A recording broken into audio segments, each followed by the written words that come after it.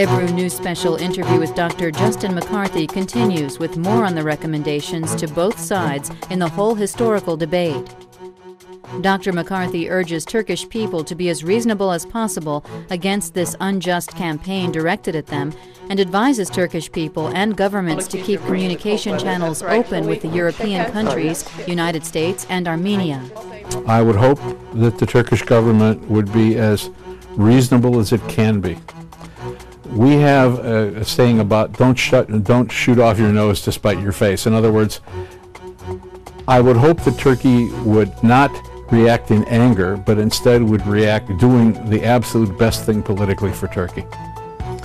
Now that means that you may have to live with America even if America does the wrong thing. After all, no country in the world can forget about America. It, the worst mistake would be if Turkey decided, okay, America doesn't like us, Europe doesn't like us, so we're going to pull ourselves in. We're just going to be just us Turks. We're not Gonna, we're going to forget about the world. Terrible mistake. Because the most important thing for Turks, like any people, is making sure your people have a good life, good jobs, good education, enough food. And that means you have to trade with the world. But surely, surely Turks have to let America know that they've insulted an ally and they've made up history and that they're just plain wrong.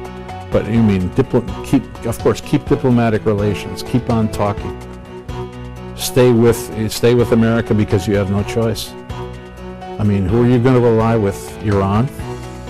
What it comes down to is, even if America does stupid things, for Turkey's benefit, Turkey has to stand with America, at least to a certain extent. But for God's sake, tell those congressmen how bad they are and how wrong they were to do that. Tell them how sad you are, but don't throw stones at the American embassy, please. Dr. McCarthy also said that the Armenian allegations have not served anybody throughout the history, and no benefit is expected to come out for the parties involved in the controversy.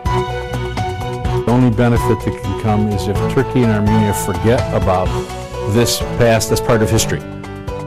I think they should get together. I think the proposal of the Prime Minister and the majority and, and the minority leader of, of, uh, of uh, Erdogan and Baykal together, the proposal to have a commission that would study is a very good thing. But I think that Armenians should, when they deal with Turkey, forget about all this genocide stuff. And Turks, the same time, forget about all of that kind of thing and say, what's best for our two peoples? For Armenians and Armenia, unquestionably, the best thing for them is to trade with Turkey. Unquestionably. So they should say, forget about all this hatred, forget about all the history, and leave Azerbaijan.